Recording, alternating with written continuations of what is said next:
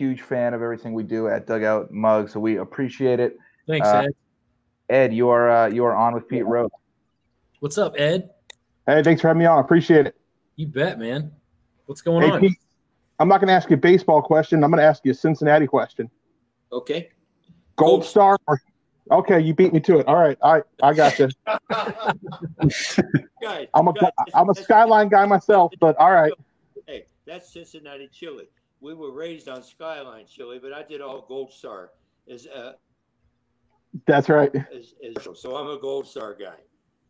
I got you. Graeter's ice cream, Oh, black raspberry chip. Montgomery Inn ribs. Yep, Absolutely. Other than that, you can have it. You from Cincinnati? right, I appreciate it. Yes, sir. Are you from Cincinnati? Yes, sir. Are you from Cincinnati? Okay. What what high Yeah. school did you go to? Uh, Northwest. What? What? Northwest. Lakota West? No, Lakota Northwest, West? next to Colerain. Oh, that's a sissy school. Thank you. Well, Oh, that's awesome. You heard of my school, right? Western Hills? oh yeah, I've heard of it. Yeah, we had, uh, listen to this, guys. Uh, 11 guys from my high school made the big leagues. That's a hell of a team. Yeah. All no, in the history of the school. All but one, Wow. same coach. Same coach.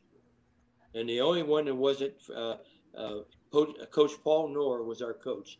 The only one that wasn't was Tuffy Rhodes. But he went to my high school. Don Zimmer went to my high school. Uh, Art Mahaffey went to my high school. Eddie Brinkman went to, he's my teammate, Little League. He was my Little League teammate. We both made the big leagues.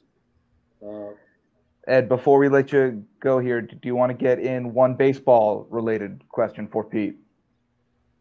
Uh, you think the Reds will be able to keep uh, Trevor Bauer next year? no. I hope so. That's it. Yeah. He's, he's going to win. The, he's going to win the Cy Young. He better. Well, I mean, he- he's got all the stats, but uh, you know, I like, I like, I like Trevor Bauer. I mean, he, he he says what he believes in, and I just don't know if the Reds can go that deep with him because they're paying Joey all that money. They're paying Joey twenty five million next year again, and the Reds are a small market. I understand that, but uh, Trevor's going to probably ask for thirty million a year. For how many years, I don't know. I mean, he he put he, he put his uh, his career on the line by not signing a contract, and it worked out okay for him.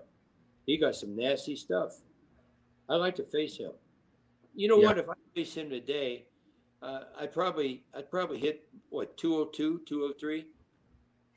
And you're gonna say and you're gonna say why? And I'm gonna tell you because I'm 79. What Hey, we, would should set, Rose, we should set that up. hey, what would uh what would Pete Rose in his prime have hit off Trevor Bauer? Well, I don't know.